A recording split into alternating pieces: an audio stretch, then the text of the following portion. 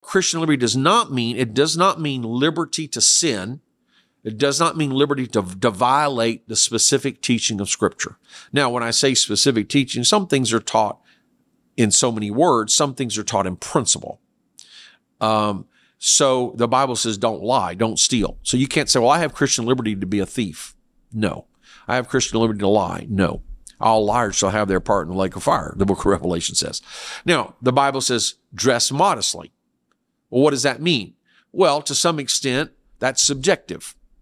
Uh, and so there, therefore, pastors will try to give guidelines of what's appropriate, but even individuals have to decide what's appropriate in different contexts. So there is an area of Christian liberty. But to say we can ignore the command to dress modestly, that's wrong.